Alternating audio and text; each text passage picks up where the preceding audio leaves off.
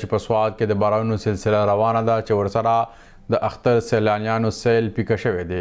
تازه صورتحال په اړه معلومات راکوي د مشرق ټي وي خبریال نیاز احمد خان جی نیاز ها جی بالکل په سوات کې باران غ سلسله تقریبا روانه ده دوه ورځو نه باران ډیر زیات شوی دی د سوات په منګوره د غرنګي سیدو شریف د خوازخیل چارباغ بریکوټو د سیمو کې باران شوی د باران د وجې نه د بحرین په مقام په مقام باندې یو کمر پرېوتی چې د هغې د وجې نه بېګانه غټ ګاډي چې دی نو په هغه طرف تلای شي واړه ګاډي نه شي تلای هغه چې دی سیلانیان هم په هغې ځای کې څه بند شوي دي ځلي انتظامیه وایي چې هغه روډ کولاو شوی دی څه حده پورې خو بیا هم چې دی نو کوم واړه ګاډي دي هغه دي هغه طرف ته نه ځي خاص کر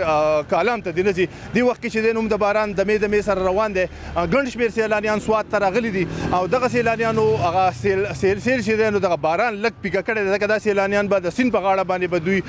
ټینټونه اچولي وو خوراکونه به یې پخول هغه چې دی نو هغه هوټلو پورې یا د ودانو پورې محدود شوي دي نن چې دی نو ګڼ شمېر سیلاریان د سوات نه واپس روان دي ځکه چې بیا سبا اتوار دی او د اتوار نه بعد به باقاعده ډیوټي شروع کیږي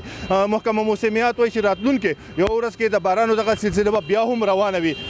کوم ځلین دي نو هغه سیلانیانو ته هدایت جاری کړی دی چې کوم سیلانیان راځي هغه د خپل ګاډی ټیک راولي بیا خصوصا د بحرین نه بره چې کوم سیلانیان ځي هغه د مضبوط ګاډی پوخ ګاډی بوزي هغه د واړه ګاډي ځان سره هلته کې نه بوزي دی وخت کې چې دی نو سوات کې هم دمې دمې سره باران روان دی بیا هم چې دی نو ضلعي انتظامیې د لنډاکي په مقام باندې سیلانیانو دپاره انفارمیشن سنټر کولاو کړی دی چې هلته کې ورته پمپلیټونه ورکوي پای کې چې دی نو اهم نمبرې مهمې نمبرې څه حادثې په صورت کې یا د څه مشکل په صورت کې هغې سره رابطه کولی شي جی ډیره مننه نیاز تفصیلاتو راکولو.